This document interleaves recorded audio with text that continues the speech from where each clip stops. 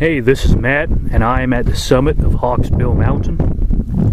It's the highest mountain, or the tallest mountain, I should say, National Park.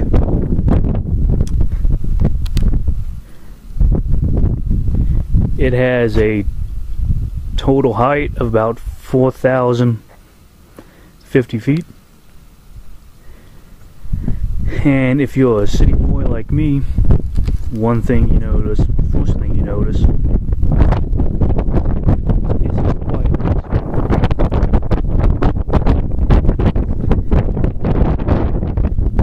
Looking over the Shenandoah Valley to the northwest.